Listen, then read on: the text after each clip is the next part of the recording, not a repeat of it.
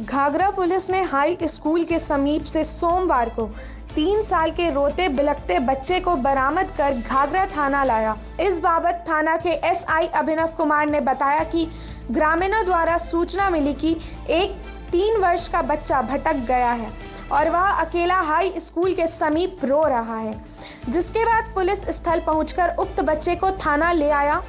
इस बीच काफ़ी पूछताछ की गई। लेकिन किसी द्वारा यह नहीं बताया गया कि यह बच्चा किसका है। उक्त बच्चा हरे रंग का जैकेट और हाफ़ पैंट पहना हुआ है। वहीं बच्चा अपने नाम बताने में भी असमर्थ है।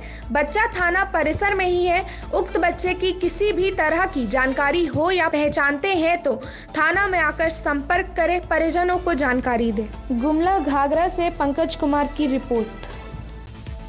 अपने राज्य से जुड़ी हर ताज़ा खबरों के लिए आप हमें सब्सक्राइब करें, साथ ही बेल आइकन बटन दबाना ना भूलें।